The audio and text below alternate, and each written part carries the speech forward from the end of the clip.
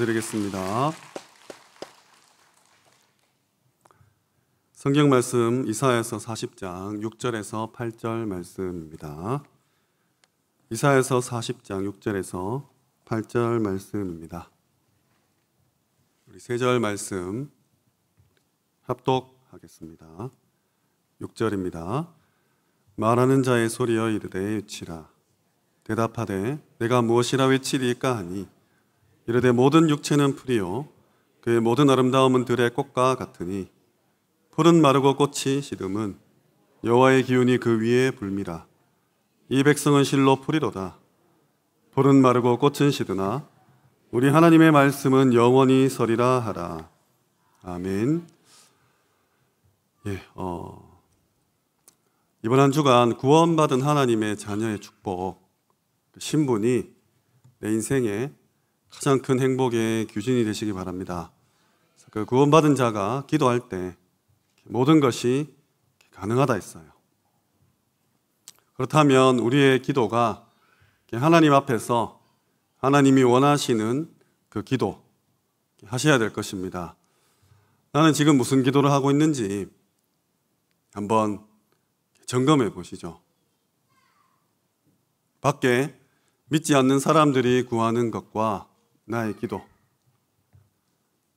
그리고 우리가 복음 좀 죄송하지만 좀 약하다 생각하는 그 성도님들이 하는 기도와 나의 기도. 과연 얼마나 다른지, 무엇이 다른지 꼭 한번 점검해 보시기 바랍니다. 내가 가장 기쁜 것이 하나님 자녀된 그 신분과 권세인지 아니면 마음속 깊이 숨겨놓은 동기죠. 욕심이죠. 아니라고 하지만 그래도 세상이 말하는 복을 받으면 은근히 입꼬리가 올라갈 수 있는 그런 부분을 놓고 기도하는지 꼭 한번 점검해 보시기 바랍니다. 어, 사실 우리는 이 땅에 살고 있고 육신을 가지고 있어요. 동시에 영적인 존재입니다. 그래서 이 구원은 완전한 영적인 영역이죠. 눈에 보이지 않습니다. 근데 구원받은 하나님 자녀의 삶은 이 땅에 살고 있기 때문에 육신과 별개해서 생각할 수가 없죠. 그래서 우리가 그리스도로 답을 냈다 했을 때 하나님께로부터 응답을 받았다 했을 때 육신적인 부분이 항상 포함되어 따라올 수밖에 없습니다. 병이 들었는데 그리스도를 믿고 치유함 받거나 우리 가문의 대대로 뭐 죽음의 문제, 또 인간관계의 문제, 경제의 문제가 끊이지 않았는데 그 저주의 쇠사슬이 그리스도 이름으로 끝났다. 포함되어 있지 않습니까? 은연 중에 우리도 기대하고 있고 또 복음 증거할 때도 우리 상대에게 하나님 믿으면 하나님께서 너에게 복을 주시고 너의 그 모든 저주, 어, 흑암, 재앙을 끊어줄 것이다. 복음 증가하거든요. 우리가 다 머리 깎고 산에 가서 영적인 삶만 추구하자. 그 말이 아니죠. 이 주와 부를 분명히 하시기 바랍니다. 하나님 자녀 되었더니 하나님께서 세계 복음하라고 축복을 주신 거죠. 근데 우리는 세계 복음을 하기 위해서 하나님의 축복이 필요하다고 거꾸로 기도하고 있는지 한번 점검하셔야 됩니다. 그래서 이번 주 강단 결론에서 분명히 담임 목사님께서 너의 행복의 기준은 구원이다. 네가 하나님 자녀된 그 신분 그 자체라 했습니다. 만족하시고 행복하시기 바랍니다. 정말 충분하시기 바랍니다. 변치 않는 구원의 기쁨을 누리고 전하시고 또한 변치 않는 이 말씀, 이 말씀을 마음에 담고 지키시기 바랍니다. 하나님의 사랑은 그렇게 확인할 수 있어요. 나에게 육신적인 축복을 주셔서 아, 하나님께서 나를 사랑하시는구나. 내 기도에 응답하시는구나. 이거는 불신자와 같은 수준입니다. 세계를 복음화하겠다고 이렇게 모여서 일평생을 이 하나교회 헌신하시고 또 예배드리고 전도와 선교와 세계복음화의 축복을 감당하시는 한분한 분께서 오늘 하나님의 말씀이 마음에 담기시기 바랍니다. 나는 무슨 말씀을 먹고 마시고 무슨 말씀을 따라 인도받고 있는지 하나님이 주신 개개인마다 다 다르거든요. 그래서 이거 점검하셔야 돼요. 지금 중요한 여름 대회와 수련회를 앞두고 있습니다. 담임 목사님께서도 237 5천 종족을 향해서 랩런트 세우시기 위해 지구 반대편에 지금 날아가 계시죠. 어, 하나교회 많은 부교육자분들께서도 이번 여름 수련회와 대회를 놓고 지금 초비상입니다. 어, 우리가 일을 진행하고 행사를 치러내고 프로그램을 이렇게 하는 것이 아니라 정말 하나님께서 이번 여름에 우리 랩런트들에게 또 전국과 전 세계에 흩어져 있는 전도 제자들이 이곳에 모일 때 무슨 말씀을 하실까 그 메시지에 귀를 기울일 수 있도록 지금부터 기도해 주시기 바랍니다. 기도해 주시기 바랍니다. 예, 우리 하나님의 말씀은 오늘 제목 우리 하나님의 말씀은입니다. 여기 참 우리라는 말이 있죠. 참 정겨운 단어입니다. 우리 한국은 이 나의라고 하지 않고 우리라고 하잖아요. 우리 엄마가 이렇게 하거든요. 친구한테도 우리 엄마가 해요. 그게 언어로 따지고 보면 저 친구 나 엄마가 우리 엄마잖아요. 근데 아니죠. 우리 누구누구 우리 누구누구 줘야지.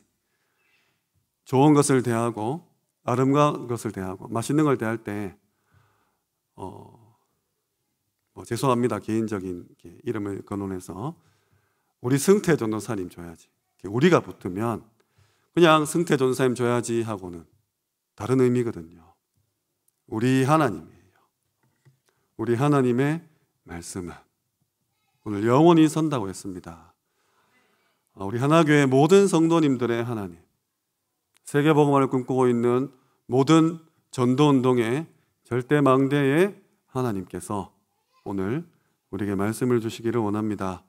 오늘 본문은 이사야서죠. 이사야 이름의 뜻은 여호와의 구원입니다.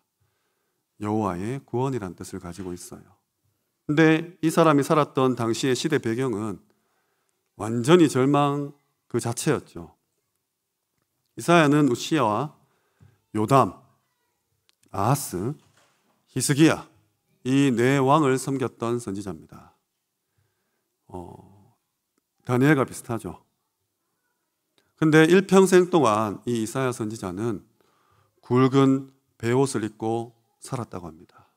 이스라엘 백성들은 보통 회개할 때 베옷을 입죠. 그 말은 어, 하나님께서 이스라엘 백성을 향해서 멸망할 것이다. 너희는 완전히 이 강대국에 진멸될 것이다.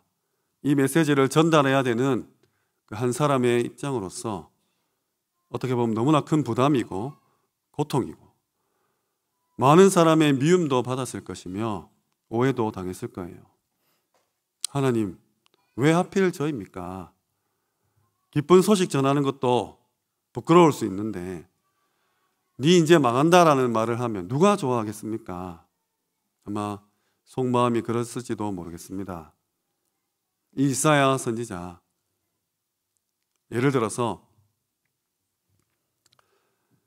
어, 의사분이 진료를 볼 때 흰 가운을 입고 보시죠. 퇴근할 때는 벗고 퇴근합니다. 집에 가면 편한 복장으로 있겠죠. 잠잘 때도 그렇고. 근데 의사 복장을 입고 퇴근해서 씻고 누워 잘 때도 의사 옷을 입고 있다. 아마 뭐 세상에 이런 일이 이런 데 나오지 않겠습니까? 아, 저 사람은 정말 의사에 24시 한 사람 아니면 죄송합니다. 또라이구나. 예, 그럴 수 있죠. 우리 담임 목사님 성찬식 할 때 이렇게 정말 멋진 옷 입잖아요. 가운.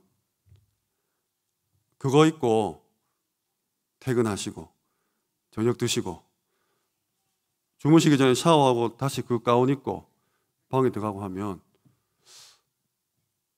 예 여기까지 하겠습니다. 어, 굵은 베옷을 24시간 잊고 살았다. 그 마음과 그 정서, 그 상태가 어떻겠습니까? 너무나 고통스러웠겠죠. 그 이사야 선지자가 오늘 하나님께 엄청난 많은 말씀들을 받고 또 이스라엘에게 전달합니다. 우리가 해야 될 일이에요. 굵은 베옷을 입고 머리 깎고 죄 뒤집어 쓰고 회개하자 이 말이 아니라 정말 영적으로 24시에 그런 하나님의 전신갑주겠죠. 입고 계셔야 됩니다. 우리가 TV를 보고 또 여행을 가고 낮잠을 자고 휴대폰 보고 놀 수 있죠. 그럼에도 우리의 영혼은 우리의 심령은 정말 저 죽어가는 237과 5천 종족을 향해 있어야 된다는 겁니다. 우리 아니면 그 생각해 줄 사람이 없기 때문이죠. 그래서 정말 오늘 이사야서를 보면서 아, 하나님께서 지금 내게 뭐라 뭐라 뭐라 하시는구나라는 것들을 한 문장을 붙잡고 오늘 돌아가시기 바랍니다. 첫 번째입니다. 말씀의 능력입니다. 말씀의 능력입니다. 복음은 다 망한 가운데 안 망한 것이 복음이죠. 이스라엘 백성 완전히 이제 저주 재앙의 그런 메시지가 선포되었는데 언약 붙잡고 복음 안에 있으면 괜찮습니다. 포로로 가서 전부 고통, 저주 당해야 되는데 그 속에서도 하나님의 말씀을 붙잡고 있다면 괜찮다는 것이죠. 이런 후대를 한 명은 남겨야 됩니다. 여기 계신 모든 전도자 어르신 분들, 우리 언제 갈지 모르는 그런 하루하루를 보내고 계신 분들, 우리 후대들이 말씀 붙잡고 언약을 깨달을 수 있는 메시지 들으면 내 욕심과 동기를 채우는 기도 제목을 발견하는 것이 아니라 하나님의 음성을 귀 기울일 수 있는 그 제자 한 명 생전에 꼭 남기셔야 돼요. 이거는 내가 노력한다고 되는 게 아닙니다. 내가 열심을 낸다고 하나님께서 만나게 해주는 게 아니에요. 내가 먼저 그런 사람이 되어야 됩니다. 그런 제자가 되어야 돼요. 우리 마음의 상태에 따라서, 우리 취미 생활에 따라서 동아리도 만들어지고 그룹도 만들어지고 여러 가지 활동하는 그런 어, 테두리가, 테두리가 생기죠. 그래 활동하지 않습니까? 우리 사상, 생각에 따라서 생각이 같은 사람끼리 몰리게 되어 있어요. 사기꾼은 사기꾼대로, 노름꾼은 노름꾼대로, 마약 환자는 마약 환자대로 모일 수밖에 없죠. 하나님, 나에게 remnant 제자 붙여 주옵소서 그 영적 상태를 준비하시면 하나님이 붙여 주십니다. 우리 후대들이 말씀 뿌리 내릴 때까지 얼마나 우리가 잔소리를 많이 해야겠습니까? 돌아서면 잊어버리고 돌아서면 까먹는데 말씀을 말로도 행하고 행동으로도 보이고 현장에서도 보여주시고 성경책을 읽으면서 가르치고 기도하고 포럼하고 읽고 쓰고 듣고 계속해서 반복하는 가운데 우리 후대들이 어느 날, 아, 우리 부모님이 우리 선생님이 우리 목사님 전도사님이 하신 말씀이 이 말이었구나라는 게 딱 깨달아져야 돼요. 우리 하나교회도 그런 랩런트들 있지 않습니까? 초등학교 때, 중학교 때, 고등학교 때 아이고 저거 인간 되겠나 싶었는데 어느 날 군에 다녀왔더니 너무 늠름하게 미래의 중직자로서 탁 준비되어 가지고 말씀 사모하고 후대 생각하고 부서에 헌신하고 이런 랩런트들이 자라고 있거든요. 아이고 저거 인간 되겠나 그런 랩런트 못 보셨습니까? 하나 서미스쿨로 오시죠. 예, 하루 만에 보여드리겠습니다. 어, 씨앗을 심는 겁니다. 어떻게 될지 몰라요. 겨자씨처럼 눈에 보이지도 않는 작은 씨인데 나중에는 너무너무 큰 나무가 되어서 새들이 와서 깃들고 잎사귀는 약재가 되고 큰 그늘을 만들어주고 열매와 가시를 맺는 그 작업을 하셔야 됩니다. 말씀이 담겨야 돼요. 말씀이 하나님이시고 말씀으로 천지를 창조하시고 말씀이 육신을 입었더니 예수 그리스도가 되시고 지금도 말씀으로 우리에게 명하고 계십니다. 그래서 하나님의 말씀을 받은 사람은 신이라 하였다. 요한복음이 나오죠. 말씀이 내게 있어야 됩니다. 학교에서, 직장에서 어려움 당하십니까? 왜 그렇습니까? 사탄이 괴롭히나요? 나를 왕따시킵니까? 왜 그렇습니까? 말씀이 없어서 혹은 말씀 붙잡으라고 하나님께서 주시는 축복의 통로입니다. 말씀 붙잡지 않는데 일이 잘 풀리고 인간관계 뭐 너무 좋고 사업 잘 되고 돈 벌리고 큰일 나죠. 말씀 붙잡으셔야 돼요. 생명 줄입니다. 이거 하나 없이 평생 하나교회에서 신앙생활 하셨을 수도 있죠. 10년, 20년, 30년 그렇게 수많은 훈련과 집회와 수련회와 대회와 어, 매주 예배 드리는데 말씀만 없는 거예요. 교회에서 충성하고 헌신하고 봉사하고 헌금 엄청 많이 하고 굳은 일 도맡아 했는데 알고 보니까 일만 했던 거예요. 너무 안타깝죠. 하나님은 각 사람에게 말씀 주십니다. 붙잡으셔야 돼요. 그 말씀은 너무너무 능력 있는 말씀이기에 우리가 붙잡아야지라고 결단만 해도 역사는 시작됩니다. 이거 모르고 우리 랩런트들 밖에 나가면 바로 휘몰아쳐요. 대학교 가서 4월, 5월 축제하자 말자 그 승냥이 때 같은 그 복학한 남자 선배들이 막 먹잇감을 찾아서 다니는 어? 그런 이리처럼 해가지고 우리 귀한 랩런트들 막 다 낚아채고 남자들은 군대 가면은 뭐 정신 없죠. 여기가 어디냐고 막 엄마 보고 싶다고 울고 다 커가지고 그 돌아오면 이제 또 취업 걱정해야 되고 정신없이 살아갑니다. 지금 고등부가 마지노선이에요. 우리 고등부도 앞에 있는데 마지노선입니다. 마지노선. 벼랑 끝입니다. 아이고 열심히 공부해서 좋은 대학 가야지. 큰일 납니다.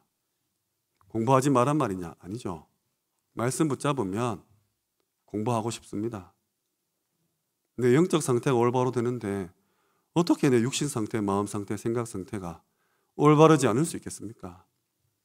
말씀 붙잡으셔야 돼요. 나는 이제 대학도 모르겠고, 직장도 모르겠고, 이제 나는 갈 날만 남았다. 우리 어르신들 계시죠? 착각입니다. 말씀이 마음에 담기면 손자, 손녀가 찾아와요. 할머니, 할아버지 이야기하고 싶습니다. 대화하고 싶어요. 동네 가면 인기 할머니 됩니다. 경도당 가면 이야기 나누고 싶다니까요. 아니, 그런 사람 없습니까? 직장에 주는 거 없는데 미운 사람도 있지만, 아, 저 사람하고 정말 한번 이야기하고 싶다. 밥 한 번 먹고 싶다. 이런 사람 있잖아요. 내게 심각한 고민이 있는데, 저 사람은 어떻게 대답할까? 한번 물어보고 싶다. 이런 존재가 돼야 되죠. 그런 존재는 어떻게 되냐? 말씀이 내 속에 있으면 자연스럽게 됩니다. 저는 영적으로 좀 삼투압 현상이다. 농도가 짙은 곳으로 농도가 약한 것이 막 빨려 들어오는 거죠. 이 나무가 물을 흡수하는 원리인데 내가 영적으로 진하게 말씀을 깊이 묵상하고 있으면 영적으로 약한 사람들이 몰려와요. 진짜입니다. 민망할 정도로 와서 막 악수하고 인사하고 싶어 하고 하죠. 말씀의 능력입니다. 나는 보잘 것 없지만 천지를 창조하신 그 말씀이 내게 머문다. 한번 상상해 보시기 바랍니다. 너무 행복하죠. 그래서 저주와 재앙 시대에 가면 갈수록 이 빛의 아이콘, 이 희망의 아이콘, 비타민 같은 존재가 될 수 있는 겁니다. 오늘 이사에서의 하나님께서는 일곱 번 재앙을 내리시면서 또 재앙을 내리겠다라는 말씀을 선포하십니다. 근데 그 속에서 이사야가 본 것이 뭐냐? 하나님의 영광이에요. 이사야서 6장에 나오죠. 우리가 아침에 일어나면 오늘 날씨가 어떤지 더운지 추운지 혹 비나 눈이 오지 않는지 확인하지 않습니까? 우리 매일 이거 점검해야 되죠. 우리가 가는 현장에 오늘 어떤 상태일까? 내 자녀가 학교, 학원 현장에 가는데 해외로, 군으로 가는데 과연 이 아이를 어떻게 나갈까 관심 가져주셔야 됩니다. 뭐로 가면 비 맞죠. 병들죠. 현장 나가면서 말씀 없이 나가면 사단에 이리저리 당하고 더 중요한 건 당하지도 모른 채 그냥 휩쓸려 갑니다. 시간 지나고 보니까 어 이래 되는 거죠. 하나님의 영광을 보시기 바랍니다. 하나님의 함께 하심을 보시기 바랍니다. 천군 천사 보시기 바랍니다. 그래서 이사야 6장 8절에 뭐라 그랬냐 이사야가 나를 보내소서라고 되어 있어요. 나를 보내소서. 지금 5천 종족 메시지가 흘러나오고 있습니다. 너무너무 열악한 곳. 바누아투도 237이라 그랬어요. 우리 한국은 단일 민족이기 때문에 이런 거 잘 못 느끼시죠? 미국에만 500 종족이 있어요. 우리로 치면 경상도 종족, 전라도 종족, 뭐 이런 거죠. 같은 나라, 한 민족인데 그 안에 수많은 종족들이 있습니다. 언어가 없고 국기도 없고 뭐 화장실, 침대 뭐 이런 거 없는 종족도 엄청나게 많겠죠. 먹을 것도 없고 옷도 없고 그냥 아무렇게나 씻고 자고 그냥 벌레 먹고 강에 뭐몇 감고 그러다가 뭐 이렇게 잘못 쏘이거나 풍토병 돌면 일찍 죽고 뭐 그리스도의 기억도 모른 채 그냥 태어났다가 지옥 가는 그냥 직행 열차 타고 가는 그런 인생들 얼마나 많겠습니까? 미전도 종족이 한 7천 종족 되죠. 보고마율이 한 2%된 종족입니다. 근데 우리가 말하는 5천 종족은 거기서 더 들어갑니다. 0.1% 미만이에요. 누군가가 밖에서 줄을 던지지 않으면 복음 절대로 못 듣는 종족입니다. 스스로 계몽하거나 개화할 수 없는 복음 깨달을 수 없는 종족. 지금 우리 단체가 이 5천 종족을 향해 간다라는 말은 이제 진짜 세계 복음을 하자는 거죠. 237이야 우리가 받아 먹을 게 있지 않습니까? 은행 거래가 되니까. 우리가 잘해주는 척 하면서 자원을 가져올 수도 있고, 잘해주는 척 하면서 인력을 얻을 수도 있어요. 인건비가 싸니까. 공장 차려놓고 열심히 돌려서 물건 팔아먹을 수도 있고, 길을 닦고 차를 팔아먹을 수도 있어요. 그게 237이죠. 근데 5천 종족은 안 그렇습니다. 무조건 퍼부어야 됩니다. 내 돈, 내 시간, 내 에너지, 밑 빠진 똥에 물 붓듯이 계속 쏟아 부어야 전도 선교할 수 있는 종족이에요. 근데 그 종족 인구가 20억 명이나 됩니다. 여기 이제 가겠다는 거죠. 나를 보내소서 우리 후대들이 여기 가려고 했을 때 237이야 직장이라도 구해서 이제 밥이라도 먹고 살지 5천 종족에 거 가서 무슨 일 하시겠습니까? 아니 일을 하면 누가 돈은 줍니까? 이미 나는 빛의 경제로 다 세상 살것 끝내놓고 들어가는 겁니다. 말씀 붙잡고 이 응답 누리셔야 돼요. 어쩌면 이 5천 종족이라는 메시지가 너무 빨리 우리에게 온 거 아닌가 할 정도로 우리가 생각도 뒤쳐져 있고 우리 실제 삶의 수준도 그렇고 우리 휴대들을 바라보는 시선도 그럴 수 있어요. 아이고 내 자녀는 선진국에 가야지. 깨끗한 데 가야지. 저기 가서 뭐 병원 오게 죽으면 어떡해. 막 창 던지고 화살 쏘고 막. 예수 믿는다고 잡아 죽이면 어떡해. 이렇게 생각할 수 있잖아요. 정말 이 말씀을 좀 민감하게 이 시대의 흐름과 비추어서 제대로 흐름 타시기 바랍니다. 이건 어쩌면 우리 단체만 하는 일일지도 몰라요. 많은 선교단체들이 237을 향해 가고 미전도 종족에 갈지 몰라도 5천 종족. 예. 이거는 처음 들어보는 메시지죠. 마치 창세기 3장 메시지처럼. 이 말씀의 능력, 하나님께서 말씀을 주시고 선포하시고 응답하시고 성취하시기 때문에 이 말씀을 붙잡으면 내게 능력으로 임합니다. 이사야가 나를 보내소서 하니까 7장에 하나님 주신 축복이 임마누엘의 축복이에요. 우리와 함께 하겠다. 최고의 축복이죠. 왜 그러냐? 눈에 보이지 않는 악한 사탄이 있기 때문입니다. 우리가 안 보이기 때문에 무시하고 등한시하고 괄시하고 천시할 수 있는데 사탄은 살아 있습니다. 지금도 역사하고 있어요.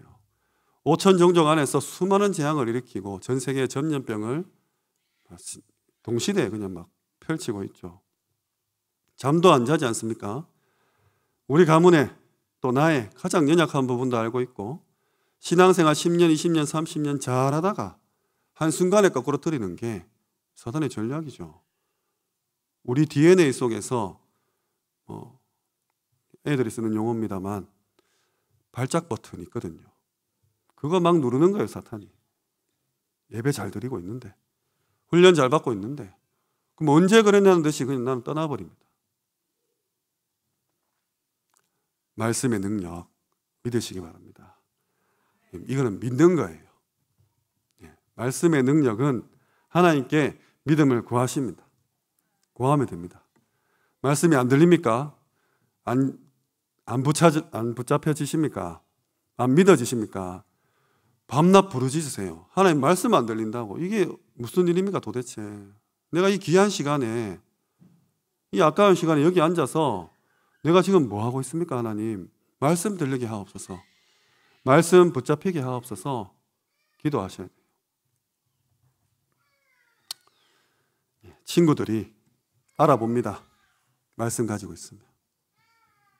두 번째로, 말씀의 성취입니다. 말씀의 성취입니다. 하나님께서는 길을 닦아라. 대로를 준비해라. 마음을 준비하라는 거죠. 골짜기는 메워지고 산은 깎이리라. 길이 평평해야 되잖아요. 말씀 받을 수 있는 그 옥토 같은 마음 밭 가꾸셔야 됩니다. 높은 산에 올라가라. 지붕 꼭대기에 올라가라. 올라가서 다른 사람들 다 보도록 말해라. 왜? 성취될 거니까. 푸른 마르고 꽃은 시들지만 우리 여호와의 말씀은 영원히 설이라. 사람의 말과 비교되지 않죠. 우리 사람의 말도 굉장히 힘이 있습니다. 어제까지 남이었던 남녀가 오늘부터 사귀자 1일 하면 목숨보다 귀한 그런 나와 같은 존재가 되어버리죠. 오늘까지 미친 듯이 사랑했는데 내일 헤어지자 한마디에 또 남이 되는 게 우리 인간이지 않습니까? 그 어디서 다 왔죠? 말로 해요, 말로. 말 한마디에 천냥빚도 갚고 말 한마디에 평생을 끙끙 앓으면서 상처 속에서 저 사람 볼 때마다 으 하면서 막 그때 나한테 이렇게 말했지. 평생 원추처럼 살아가는 그게 말입니다. 하나님이 말 자체에 힘을 넣어 주셨어요. 우리 말 자체에 복음이 아닌 말인데도 사람을 죽이고 살릴 수 있는 그 힘이 들어 있다는 겁니다. 근데 이게 성취가 된다. 큰일이죠. 부모님들 집에서 맨날 돈 없다, 돈 없다. 우리 자녀는, 아, 돈이 최고구나. 이게 이 아이 삶의 성취가 돼버리는 거예요. 네가 잘했다, 내가 잘했다. 맞다, 틀리다. 된다, 안 된다. 옳다, 그러다. 그 말대로 다 성취가 돼버립니다. 살리는 말 하셔야죠, 당연히. 근데 하나님의 말씀이 성취가 된다. 어떻겠습니까? 오늘 하나님 말씀하십니다. 누가 바닷물을 재일 수 있냐? 하늘이 얼마나 큰지 누가 재일 수 있냐? 뒷글이 얼마나 많은지 누가 셀수 있냐? 하나님이 누구시냐? 사람이 만들어 놓은 저 나무들, 저 색칠한 것들, 저게 하나님이냐? 인간의 모든 흥망성쇠를 주장하는 하나님이 말씀하십니다. 오직 여호와를 악망하는 자, 사람의 말과 비교 안 되는 하나님의 말씀으로 오늘 우리에게 약속하십니다. 하나님 바라보고 악망하는 자는 새 힘을 주겠다. 독수리의 날개침이 올라간 같은 새 힘을 주겠다. 소년이라도 넘어지고 장정이라도 자빠지지만 오직 여호와를 악망한 자는 새 힘을 주겠다 했어요. 이거 성취시키셔야 됩니다. 일어나라. 빛을 발하라. 여호와의 영광이 이미 네 위에 이마에 있느니라. 이마에 있어요. 말씀은 우리가 결단하고 약속 붙잡고 기도하는 순간에 이미 성취가 되었어요. 그 응답을 붙잡고 오는 우리 다니엘 알잖아요. 바사국 군주가 막아서 그 응답 네가 무릎 꿇는 그날에 시작되었는데 그 방해 때문에 내가 이제 20일 지나서 왔다. 분명히 성경에 기록되어 있습니다. 지금 이 시간 눈 뜨고 그냥 뭐 필기하고 있으면서도 어 하나님 나에게 이런 말씀 주셨는데 붙잡으시면 보좌에서는 천군 천사가 그 응답 가지고 이제 출발했죠. 이거 맛보셔야 됩니다. 그리고 우리 후대들에게 맛볼 수 있도록 해주셔야 돼요. 이 빛이 임하는 그날 나라들과 왕들이 광명으로 몰려오고 아들과 딸들이 원방에서 몰려오고 이번 여름에 그렇지 않습니까? 작년에 이제 이 오세아니아 14개국 초청할 것이다. 랩너트도 오세요 했는데 좀 등록했잖아요. 말씀이 성취되는 그 실시간 현 중계를 보고 있지 않습니까? 그러면 뭔가 느껴져야죠. 준비하셔야죠. 이제 제4 RUTC 메시지가 선포된다. 그럼 하나교회 정신병동처럼 막 정신병자들이 몰려들 텐데 준비해야죠. 마음도 준비해야 되고 시설도 준비해야 되고 돈도 준비해야 되고 장소도 준비해야죠. 월요일에 서미스쿨에 중국에 저랑 같이 신학교 다녔던 목사 형님께서 찾아왔어요. 자기 딸은 다 키워서 이제 애원교회 통역하고 있는데 그 중국에 있으면서 어떤 목사님이 애 한 명 맡아달라 입양했어요. 입양을 했더니 그 교회에서 핍박이 일어났습니다. 막 성도가 나갈 만큼. 그이 형님이 원래 찾아오셔가지고 서미스쿨 보내고 싶다. 8살이다. 집이 없죠. 그 사모님께 집 구하지 말아 했는데 이 사모님이 잘못 알아듣고 서울에 이제 2년간 월세를 계약했답니다. 그래서 이제 굉장히 곤란한 상황이 됐죠. 무조건 오시겠습니까? 무조건 온대요. 올해 못 오면 내년이라도 오겠다고. 없잖아요, 근데 집이. 뭐 집만 있어야 됩니까? 밥 해줄 사람, 청소할 사람, 빨래할 사람. 지금 메시지로 계속 나오잖아요. 하우스, 하우스 하면서. 그러니까 하나님은 말씀 선포하면 성취합니다.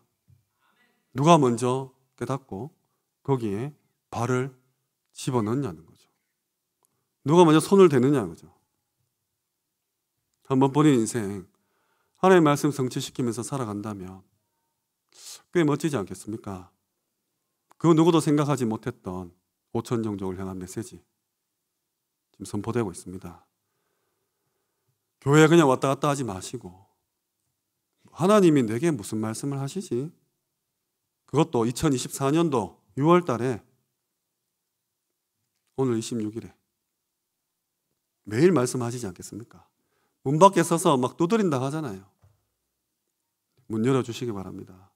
마음에 담고 한번 어, 기도해 보시기 바랍니다. 하나님, 나 돈도 없고, 백도 없고, 배운 것도 없고, 배경도 없고, 너무 연약하지만, 하나님 주신 이 말씀 내 마음에 담습니다. 내가 아니더라도, 하나님, 이 말씀을 성취시킬 줄 믿사오니, 이 약속 붙잡고 기도할 때 흑암 세력 결박되고 하늘나라 임재하며 천군 천사 파송하셔서 하나님의 시간표를 앞당겨 주옵소서 이 기도하는 한 사람 하나님 너무 귀하게 보실 겁니다. 그래서 우리 어르신들 오래오래 건강하게 사셔야 돼요. 말씀 안 붙잡고 기도 안 하고 밖에 열심히 살고 있는 우리 성도님도 있잖아요. 중요합니다. 근데 말씀 잡고 엎드리는 우리 할머니 할아버지가 훨씬 더 중요해요. 어제 서미스쿨 데리고 옥천에 갔다 왔는데 치매 병동이었어요. 애들 그 한 7, 8분 공연하려고 2시간, 왕복 4시간 차 타고 이게 뭐 하나 싶었어요. 그나마 이제 우리 전문 사역에서 배려해 주셔서 저희는 스타리아 타고 갔는데 우리 어르신들은 스타렉스 타고 가다 차 퍼져가지고 내려오다가 기차 타고 내려오시더라고요. 그러면 그 치매 할머니들 제가 막 재롱잔치 벌이듯이 얘기했거든요. 제가 대구 내려오기 전에 제가 한 말 다 까먹는 사람들이거든요. 그럼 전 뭐 한 겁니까? 우리 아이들은 또 뭐 한 거예요? 우리 그 차 퍼져가지고 기차 타고 내려오신 우리 중직자분들은 뭐 한 겁니까? 말씀 성취하러 갔지 않습니까? 거기서 뭐 준다고 떡이 나옵니까? 돈이 나옵니까? 하나님 말씀은 영원하니까 그 짧은 시간이지만 그 말씀 선포하러 옥천까지 간 거죠. 저 충주에도 있다고. 거기는 사람이 100명 넘게, 직원은 30명 넘게 있다고 오라고. 알겠다고. 우리 전교생 데려가겠다고. 거기 가면 우리 다락방 식구들이 좋아하는 막국수 있거든요. 그거 먹어야지. 복음 전하고. 그렇게 다짐하고 왔어요. 왔는데 오늘 또 난립니다. 싸우고 고자질하고 절대 불가능한 현장이에요. 근데 말씀이 우리 아들을 변화시키겠죠. 지금 또 막 게임 많이 한다고 저 쉼터에 앉아가지고 전부 서미스쿨 당연히 서미스쿨이죠. 왜냐하면 일반 학교 학생들은 그 시간에 여기 없으니까 기도해 주세요. 예. 우리 아이들이 게임을 하다 눈이 멀든지 손가락이 부러지든지 아니면 복음으로 재해석해서 말씀을 사모하고 말씀으로 자라나든지 우리 성도님들의 기도가 전부입니다. 지나가는 말 한마디가 다예요. 어이구 이런 눈빛으로 보시면서 네가 어? 이렇게 우리 랩런트를 향해서 우리 주일학교 교사분도 마찬가지죠. 하나님도 마찬가지입니다. 그렇다기 어린이집도 237 어린이집도 마찬가지예요. 우리 후대들은 말씀 먹고 자라야 됩니다. 우리의 불신앙 듣고 자라면 큰일 나요. 무심코 뱉은 말 한마디에 아이들 영혼이 그냥 직격탄을 맞으니까 정말 이 말씀 성취하는 그 자리에 서 주시기 바랍니다. 이사 62장 1절에서 9절에 주야로 여호와를 쉬지 못하게 해라. 하나님이 쉬지 못하게 하는 그 행복을 누리시는 거죠. 다른 것 아닙니다. 정말 많은 것들이 회복되고 빛이 비추어지고 원방에서 안기 오고 모든 것이 저주와 재앙에서 벗어나는 그날 거기에 시간표를 맞추고 이미 내 위에 임해 있는 이 빛을 비추는 거죠. 이미 성취된 이 말씀을 내가 깨닫고 전달하는 겁니다. 그래서 백성이 올 길을 닦으라. 대로를 수축해라. 길을 들라. 정복의 이 응답을 누리시는 겁니다. 우리 랩너트 한 명 한 명이 우리 중직자 산업 한 분한 한 분이 파수꾼이 되시는 거죠. 혹시 지금 실패해 와 있습니까? 괜찮습니다. 지금부터 집중하는 시간 가지고 정말 말씀 24로 들어가시기 바랍니다. 내 평생 구전 한 개는 있어야 되지 않겠습니까? 내가 이렇게 신앙생활 평생 하는데 하나님이 내게 주신 성경 말씀 한 구절은 있어야 되죠. 하나님이 내게 주신 메시지 하나는 있어야 됩니다. 그게 단어든 문장이든 아, 정말로 내가 내 죽는 날까지 이 말씀은 반드시 하나님 앞에서 성취시키고 싶습니다. 그런 결단이 있어야 되죠. 우리 담임 목사님 절대 주권의 그 원로 목사님의 언약 붙잡고 전도 목회 붙잡으셨잖아요. 붙잡으세요. 약속을 받아내셔야 됩니다. 부르짖어야 됩니다. 사람 보고 가는 거 아니에요. 우리 단체 한 사람의 메시지를 받고 있지만 사람 따라가는 거 아닙니다. 우리 하나교회 다니고 있지만 우리 담임 목사님 바라보는 거 아니잖아요. 담임 목사님께 말씀을 주시는 하나님을 바라보지 않습니까? 그 하나님을 우리가 그리스도로 만났지 않습니까?